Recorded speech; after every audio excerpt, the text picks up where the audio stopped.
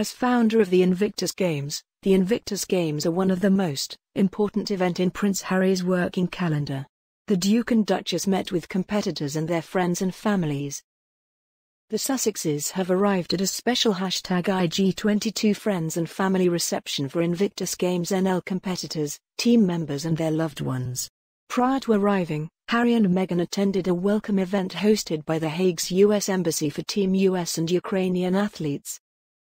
En route to the venue, the couple were escorted by hashtag Team Netherlands competitors and family, one of whom was proudly carrying a newborn. Noticing the sudden drop in temperature, Meghan quickly handed over her coat to the mom to help keep the baby warm. We love such a kind Duchess she is so considerate. Upon arrival at the nation's home venue on the grounds of Atlanta Invictus Games the couple were greeted by The Hague's Mayor Jan van Zanen and the chairman of hashtag IG22 chairman Mart de Kruif. The Invictus Games undoubtedly much more than just sports. It is an international event that uses the power of sports to inspire recovery, support rehabilitation, and create a wider understanding and respect for the sick, injured, and wounded service people. Launched in 2014 by the Duke of Sussex, this multi-sport event captures the hearts, challenges minds, and changes live. After its founding in 2014, the Invictus Games Foundation hosted the inaugural Invictus Games at the Olympic Park.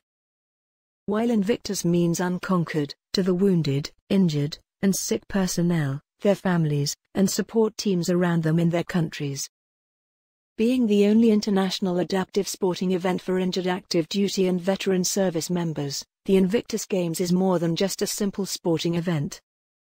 The Invictus Games inspired a shift in perceptions, including education, employment, awareness, and recognition. The Invictus Games Foundation, led by an experienced and deeply passionate board of trustees, by the end of the 2020 Invictus Games, several milestones will be achieved. The Games marked a new beginning for the wounded, injured, and ill-serving and veteran defense personnel. Mental fitness and self-optimization through collaboration with BetterUp.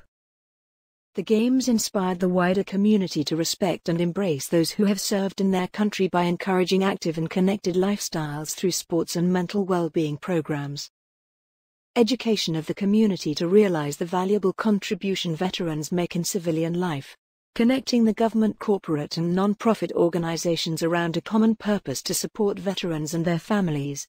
If you liked this video, and would like to support us with a one-time donation give us a super thanks.